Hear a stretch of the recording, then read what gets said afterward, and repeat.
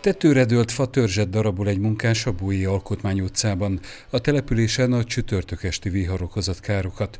A labdafogó hálóra dőlt egy fa, amit tövestől fordított ki a szél a helyi sportpályánál. Az éjszakai vihar mm, kicsit megtépázta az erdőt, a parkerdőt és a mi pályáinkat is.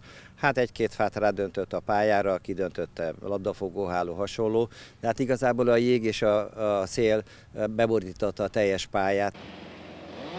Ez már a Szajki teniszpálya, ahol a teljes kerítést ledöntötte az erős szél. A templomnál is pusztított a vihar, ahol az udvaron szobrot döntött le egy kidőlt fa, illetve a villanyvezetéket is leszakította.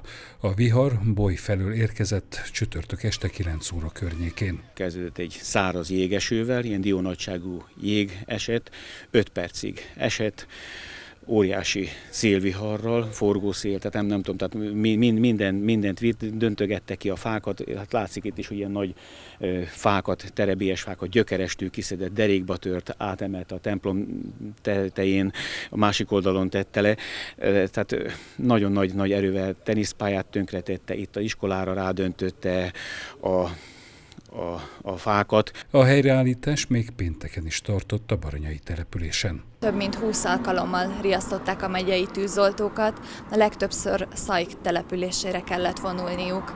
Az erős szélben fák dőltek utakra, épületekre, villamos vezetékekre, illetve kerítésre.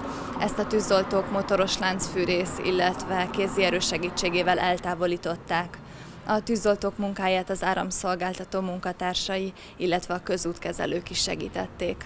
Szajkon több tízmilliós kár keletkezett a polgármester becslése szerint. A település a Viszmajor keretből szeretné fedezni a károk felszámolását.